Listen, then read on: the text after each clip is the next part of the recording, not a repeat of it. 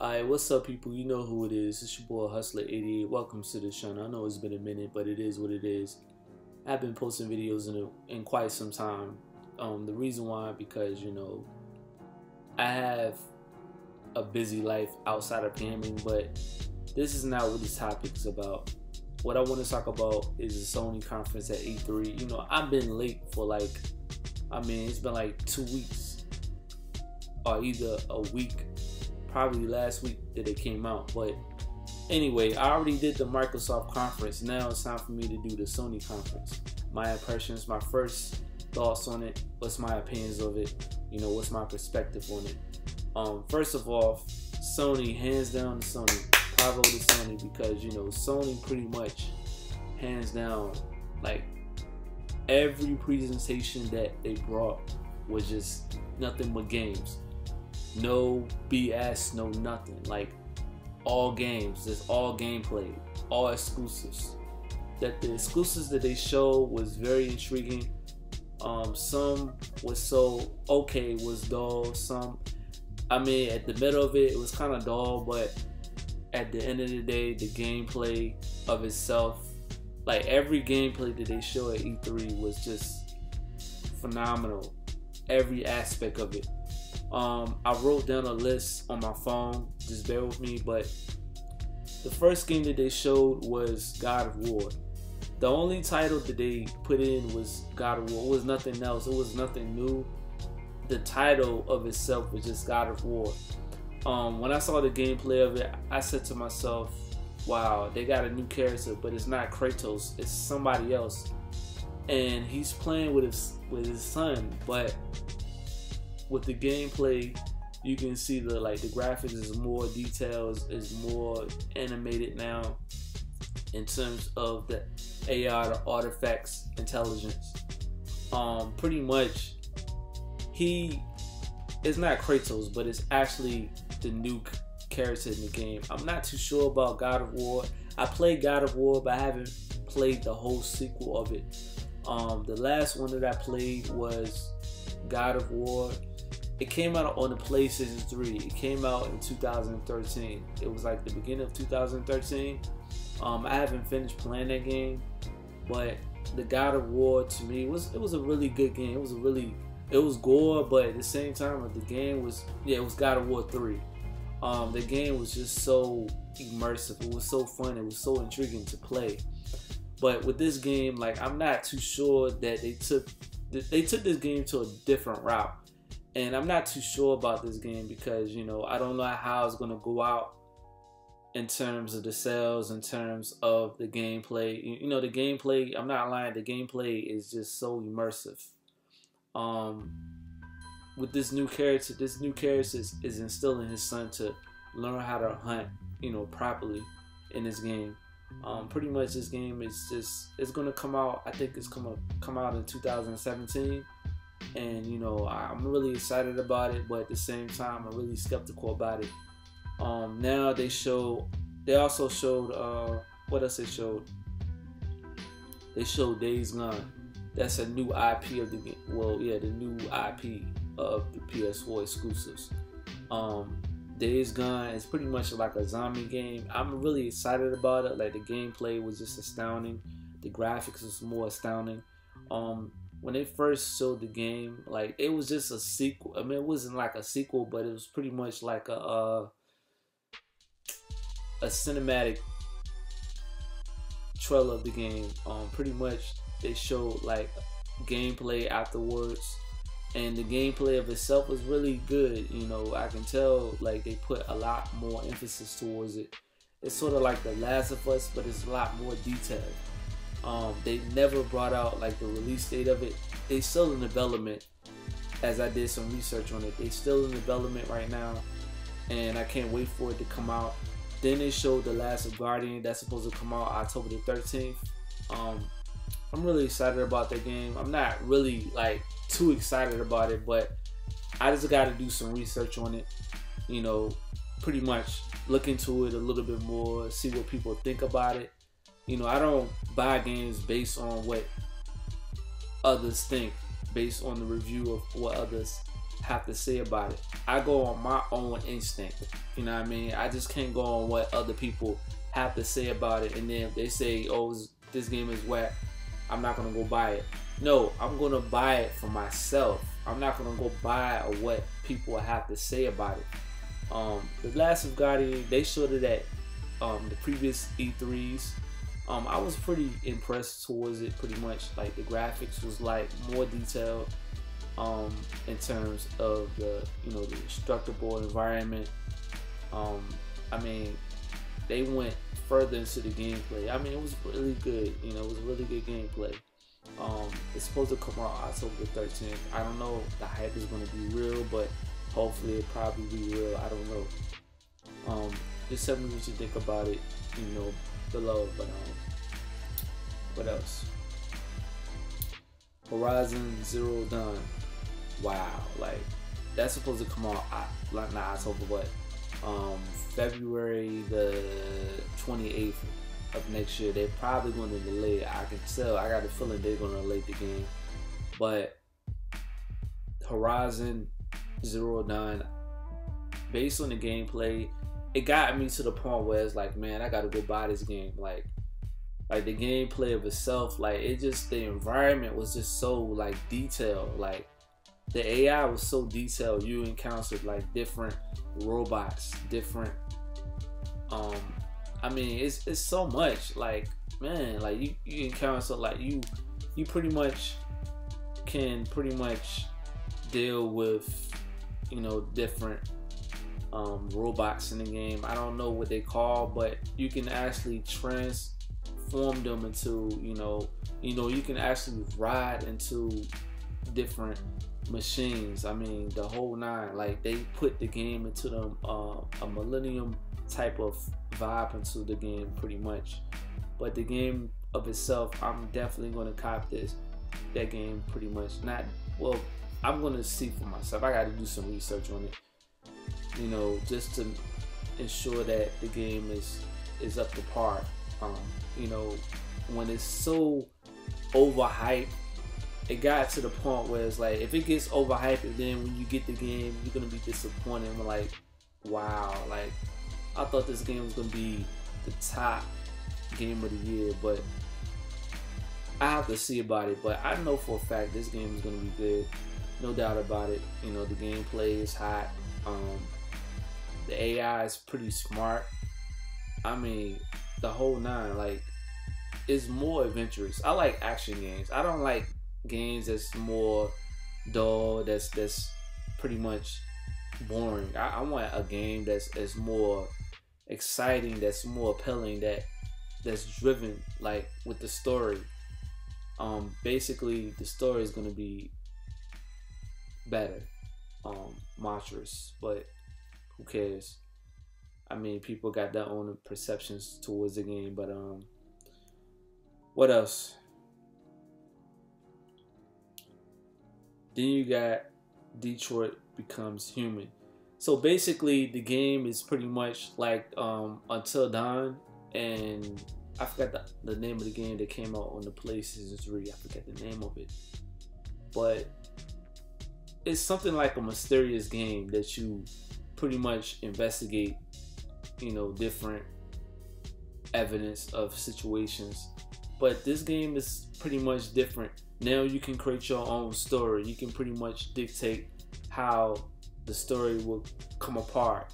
Um, basically, you get to choose, you know, different options. You get to choose to kill the enemy, or you can actually get the enemy to escape. I mean, the list goes on, but this game pretty much has that full potential. I can tell based on the gameplay, but we have to see about it. I have to see more gameplay of it. They showed the cinematic of it. They didn't show the full gameplay of it. But if they showed the full gameplay of it, play of it, pretty much, I'll probably get a, a bigger picture, a bigger aspect of the game. Probably have my own impressions towards it. Um, what else? That. Then you got Resident Evil Biohazard. Um, the game is really scary. You can tell based on the gameplay. It was it's really scary. It's more dark. then they put it into the first person view, which they never shown in any console. Now you can they have it on the PlayStation 4.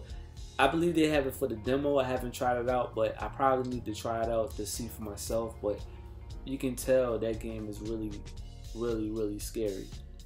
It is scared, scared of like the crap out of you. Like seriously, you're gonna go out your seat right now. But it might not go out my seat, but uh, I have to try it out for myself and see what the deal is.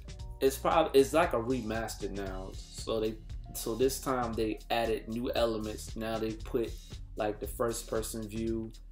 Um, I mean, I don't know what else they put in, but I know they put the first person view of the game. Um, what else they put in?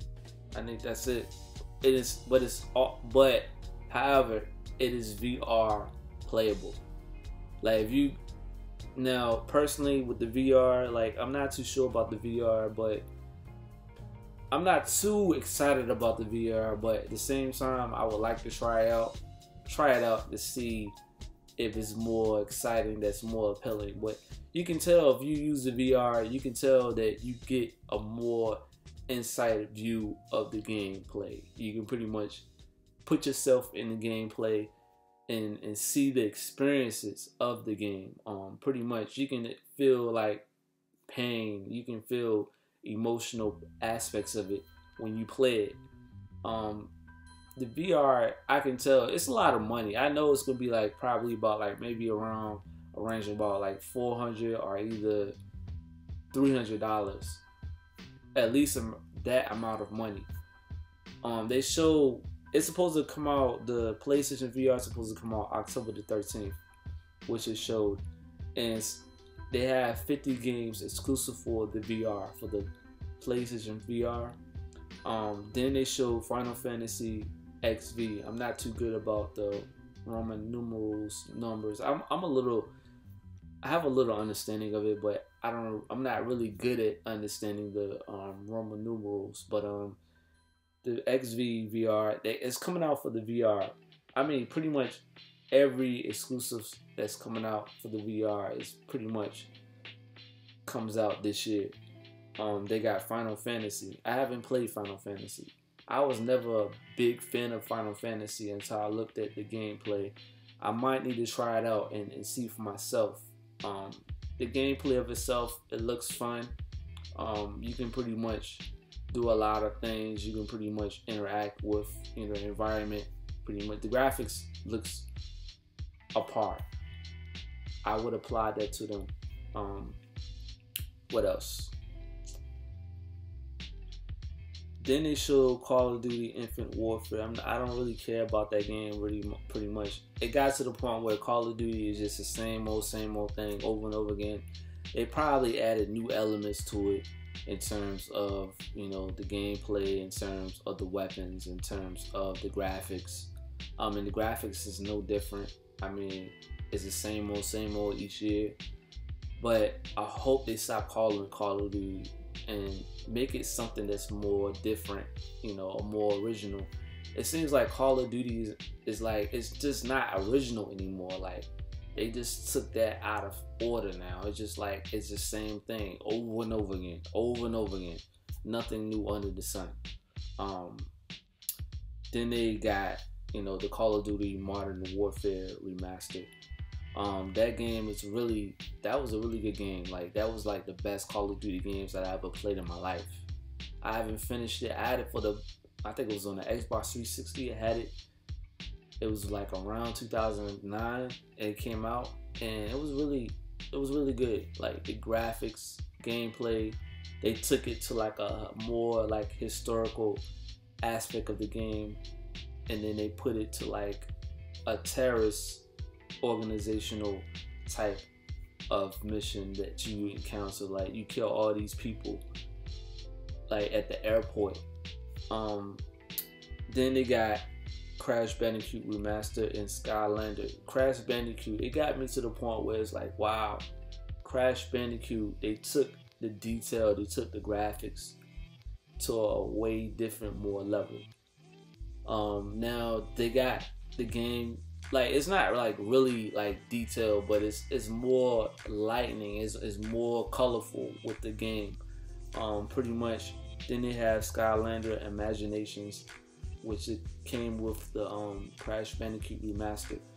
Um, that's supposed to come out pretty much next year or either the end of this year.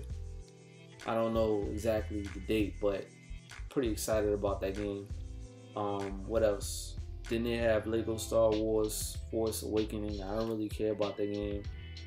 I just like I was like, okay, whatever. I don't really want to watch it anymore. That's why I was telling you early, um, in the beginning of the video. But then they showed Death Stranding.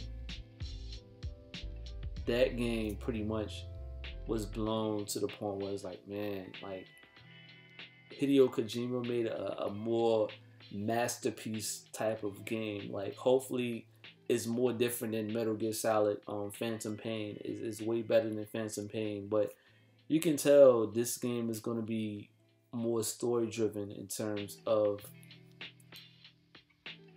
the the cultural distress of the characters that he's going through on a day-to-day basis and pretty much i don't know the detail of it but i know it's going to be more like they in the development right now. It's going to be delayed in in too many years. Like it's probably going to be delayed in 2018.